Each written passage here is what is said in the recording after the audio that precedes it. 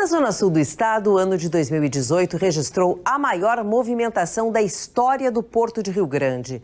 Conforme a superintendência, o terminal movimentou quase 43 milhões de toneladas. E novamente a soja foi o principal destaque portuário. Em 2018, o Porto de Rio Grande registrou um movimento recorde. Somente no ano passado, o terminal movimentou 42,9 milhões de toneladas. O número representa um aumento de 4,3% em relação a 2017. A soja foi o principal destaque, com mais de 16 milhões de toneladas transportadas.